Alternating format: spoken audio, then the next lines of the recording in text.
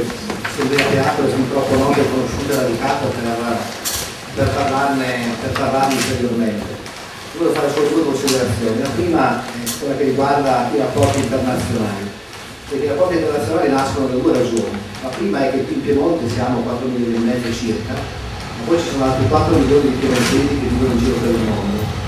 e sono piemontesi che si sono portati dietro il Piemonte non soltanto se di prima generazione, cioè migranti dal Piemonte quando erano bambini o giovani, ma anche quelli che sono nati già di seconda generazione, che sono nati da quelle parti, si, si portano dietro questa realtà, si aggregano attorno alla comune origine, hanno dei luoghi di ritrovo, hanno degli incontri, e credo che sia importante che il Piemonte porti in quei luoghi ciò che il Piemonte sta facendo oggi sul piano culturale tra l'altro sono personaggi anche molto particolari, hanno colpito moltissimo quelli del responsabile, il coordinatore del Piemontesi di Tordolo, che è originario di Virle, e che parla di Virle come di casa sua, e credo che nessuno di Virle si ricorda che lui esiste, cioè partito 30-40 anni fa. Allora vedere come c'è un pezzo insomma, della nostra realtà che, nessuno di noi nota più di tanto perché ci stiamo dentro, perché ci passiamo eh, tutti i giorni, invece c'è qualcuno che si porta dietro a distanza degli oceani, questa realtà che è una realtà di origine, di radice, ma anche una realtà culturale, ci dimostra che è necessario comunque portare una realtà piemontese attuale in, in questi luoghi. E con spettacoli che in genere funzionano molto di più nei paesi piccoli che nelle città grandi, dove il senso di appartenenza, il senso identitario è molto più forte.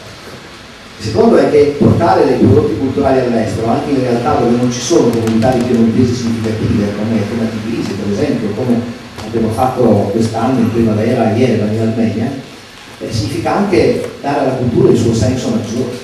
che è quello di far conoscere, di far incontrare, di parlare, di aprire le porte. Guardate che in questi paesi caucasici sono paesi che sono sotto osservazione per un ingresso a medio-lungo termine nell'Unione Europea.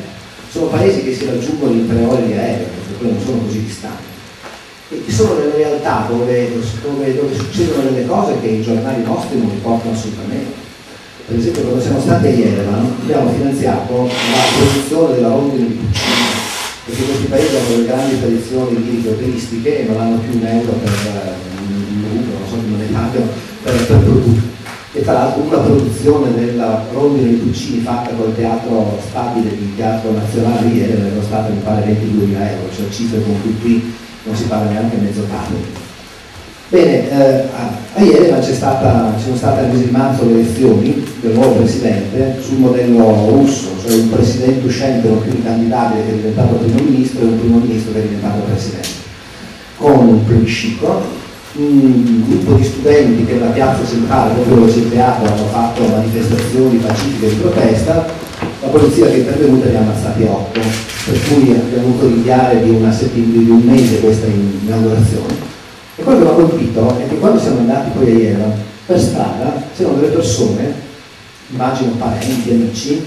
che tiravano fuori dalla tasca un volantino e ti mettevano in mano un volantino dove c'erano delle facce che immagino fossero morti e delle scritte in armeno che non sono ovviamente traducibili e comprensibili. Cioè siamo in un paese ufficialmente democratico, sotto osservazione per entrare nell'Unione Europea, dove otto persone giovani vengono ammazzate dalla polizia, tra l'altro a detta dell'ambasciatore italiano non è che gli ambasciatori di polizia siano degli estremisti di sinistra in genere, quindi se loro stessi dicono che è stata un'azione brutale, violenta e ingiustificata dalle ragioni, corponi familiari e i nemici costretti a tirare fuori volantini di nascosto e infilati nella tasca mentre passeggi per la strada perché non c'è altro modo di comunicare. Allora, io credo che eh, attivare degli scambi anche di tipo culturale con questi paesi sia dare a questi paesi una grande opportunità,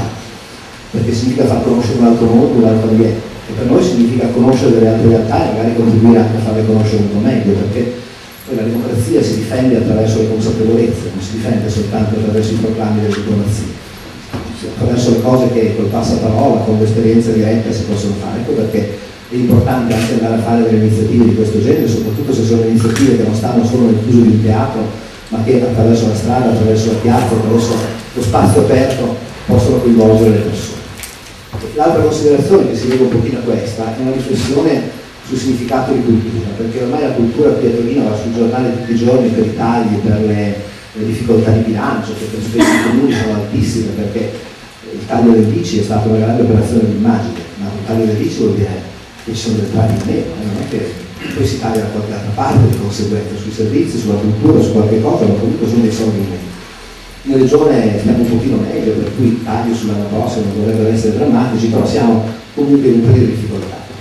Allora, adesso che siamo in un periodo di difficoltà, secondo me bisognerebbe che tutte le forze della sinistra, del centro-sinistra, facessero una riflessione su cosa intendono per tutto. Perché se noi continuiamo sempre soltanto ad associare la cultura allo sviluppo turistico e al ritorno in termini di frequentazioni,